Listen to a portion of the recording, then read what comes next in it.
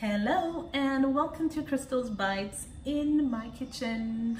I'm excited about this episode because I'm taking on a challenge. This one was set by Emirates chef Udo Leick. I just found out that you can access some of the recipes for the meals that are served in flight and this is part of the dessert, apple and raisin crepes. Now, I'm a little sad that I can't travel at the moment. I had planned a holiday for May, but that's not happening. As you know, we're in lockdown. So if I can't have it up there, how about I try it here in my kitchen? So you can do so as well if you want to. I will share my results with you. I will share the link for the recipe with you. And uh, you can use a hashtag emirates cooking challenge. So it's apple and raisin crepes. I do love something sweet. Uh, let me get started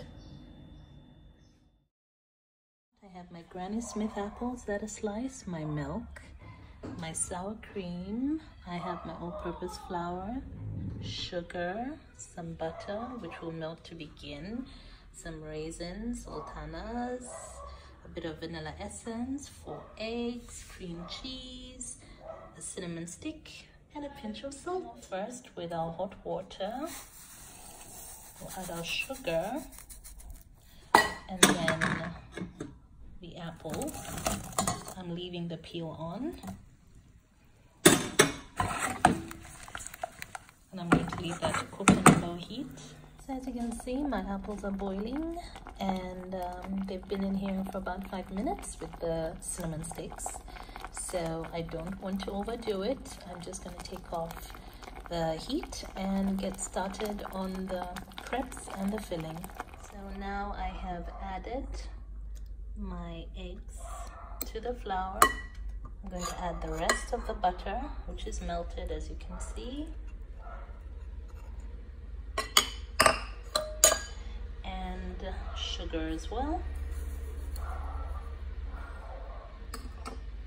And then I'm going to get this mix nicely combined. Okay, so our batter is nicely mixed at this point. and we are going to add our milk that will make it a much looser texture so we can start preparing our crepes.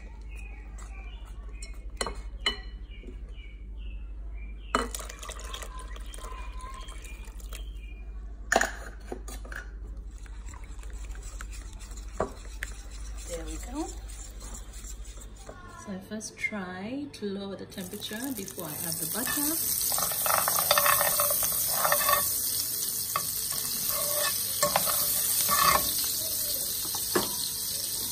And I put it back up.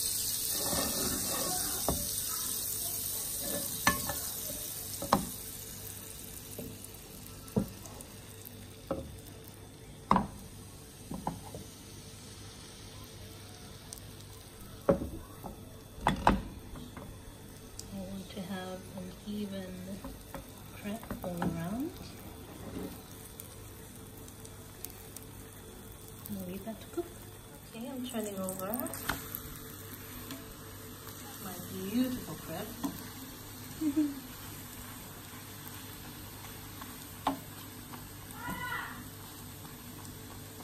After the first few ones being eaten, our crepes are ready and I'm now going to start on um, the filling. So now I'm plating. So I'm just adding my beautiful apples right here. Good amount of them with as little syrup as possible. Then I'm going to get some of the raisins that I added right at the end.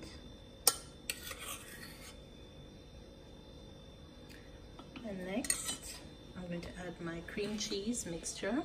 What I did is I added a little vanilla with some lemon, fresh lemon, and just a bit of the syrup from my apple compote. And I'm just going to put some of that right here.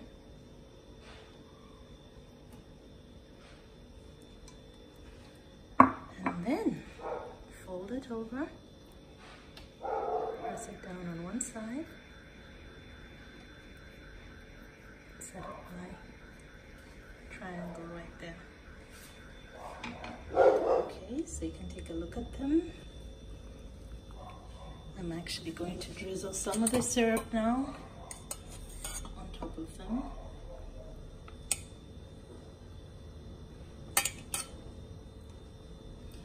And finish with a bit more cream on the side.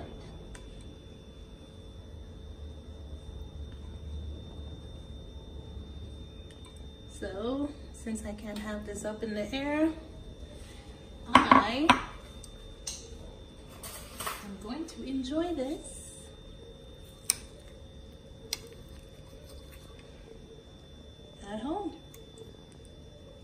petite.